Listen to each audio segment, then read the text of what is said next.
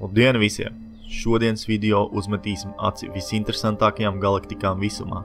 Pirms to sākam varbūt mēģinam šim video saspiest 300 laika. Lai daudz no jums vieglāk saprastu, kas ir galaktikas, šeit būs mazs kurs par lielā sprādziena teoriju pāris teikumos. Tātad pirms 13,7 miljardiem gadu bezgalīgā punktā saspiesta matērija, antimatērija, tumšā matērija un tā tālāk eksplodēja radot visumu, Šī matērija visuma telpā bija izkaisīta nevienmērīgi, un pateicoties gravitācijas maģiskajai darbībai, reģioni ar lielāku matērijas daudzumu lēnām sāka formēties par galaktikām, kurās bija vajadzīgie materiāli zvaigžņu, planētu un principā jebkuru redzamu un neredzamu lietu veidošanai. E, tas, protams, ir ļoti primitīvs, bet aptuveni skaidrojums par to, kas notika.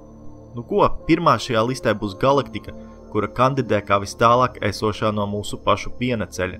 Šīs galaktikas nosaukums būs grūti izrunājams, bet tā atrodas apmēram 13,3 miljardu gaismas gadu attālumā no mums un ir viena no jaunākajām zināmajām galaktikām visumā, jo tā radās apmēram 430 miljonus gadu pēc lielā sprādziena.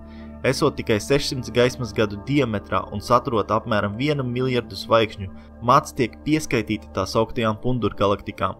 Salīdzinājumam, mūsu pašu piena ceļa galaktika ir apmēram no 100 līdz 180 tūkstošus gaismas gadu liela un satur apmēram 400 miljardus zvaigžņu.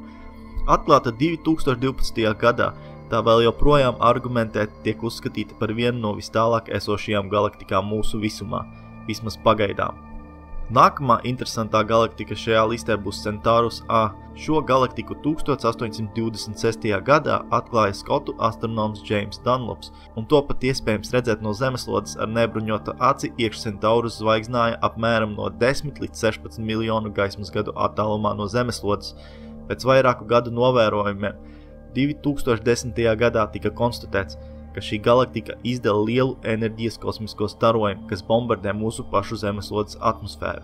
Centaurus A ir apmēram 60 tūkstošus gaismas gadu liela, kā arī tās vidū atrodas masīvs melnais caurums, kas ir raksturīgs praktiski visām šāda veida galaktikām. Pateicoties savai relatīvi tuvajai distancei un tam, ka tā ir viegli pamanāma, Centaurus A ir ļoti populārs apskates objekts starp astronomijas entuziastiem. Nākamā šajā listē ir ISO HDFS 27. Šī galaktika ir zināma ar to, ka tās nosaukuma izrunāšana tev var iedot smagas galvas sāpes, bet, ja nopietni, tad pagaidām ir zināma kā spirāļveida galaktika ar vislielāko masu. Aptuvenais galaktikas diametrs ir 130 tūkstoši gaismas gadu, un tās kopējā masa ir apmēram 4 reizes lielāka nekā pieneceļa. Tiem, kas īsti nesaprot, ko nozīmē masa, zinātniskajā pasaulē un astronomijā masu izmanto kā matērijas daudzuma mērvienību astronomiskajos objektos, kā piemēram galaktikā vai individuālajās planētās un zvaigznēs. Šī konkrētā galaktika atrodas apmēram 6 miljardu gaismas gadu attālumā no mūsējās, un gandrīz kā visas tālās galaktikas un astronomisko objekti tika uzņemta ar Hubble Space teleskopu. Andromedas galaktika Tie, kas seko līdz maniem video par visumu, noteikti jau zina par šo masīvo spirāļu veida galaktiku, Gluži tāpat kā Centaurus A, arī šo milzi ir iespējams redzēt ar nebruņotu aci no mūsu pašu zemeslodes. Tā atrodas Andromedas zvaigznājā un tuvojas piena ceļam ar apmēram 110 km ātrumu sekundē. Andromeda ir apmēram 2,4 miljonu gaismas gadu attālumā no mums un ir gaidāms, ka pēc aptuveni 4,5 miljardiem gadu tā sadursies ar piena ceļu, izveidojot milzīgu eliptisko vai diskveida galaktiku. Nav gaidāms, ka šajā sadursmē saskriesies individuālās planētas vai zvaigznes, jo to savstarpējais attālums ir pārāk liels. Andromedas diametrs ir 220 tūkstoši gaismas gadu, kas to padara par lielāko to spirāļu veida galaktiku mūsējai. Un pēdējā šajā listē būs Sombrero galaktika, kas savu nosaukumu godēļ savu sombrero cepures izskata.